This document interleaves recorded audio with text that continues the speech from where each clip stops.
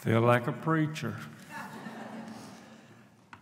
Well, as my old friend Norro Wilson would say, I don't know how I got here, but I ain't leaving.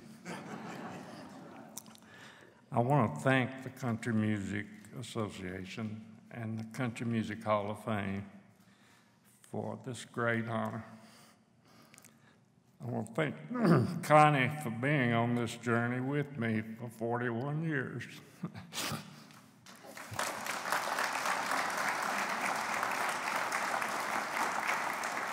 Thanks to my daughter Lee, my son Clay, and Patsy Bradley, my sister, and Cecile Light, my assistant, for over 50 years.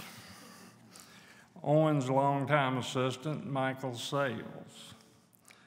I appreciate Chet Atkins for giving me the opportunity to run the country division of RCA. I also appreciated the independent producers, mainly Harold Shedd and Tom Collins, and Roy Dea, to name a few.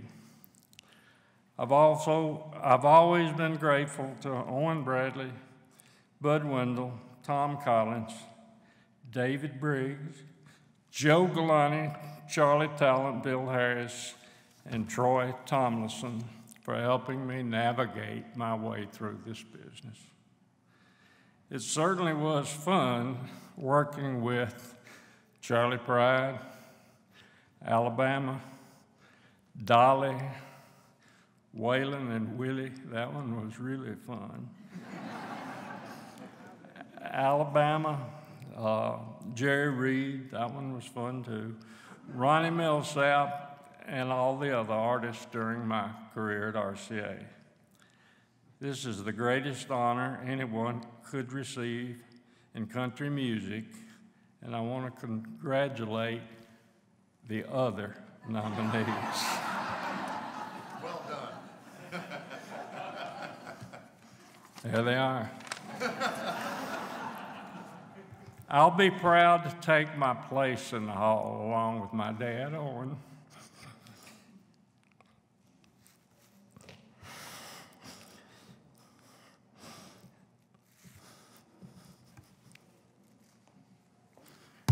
Read it. Take your time. Take Read your it. time. Read it.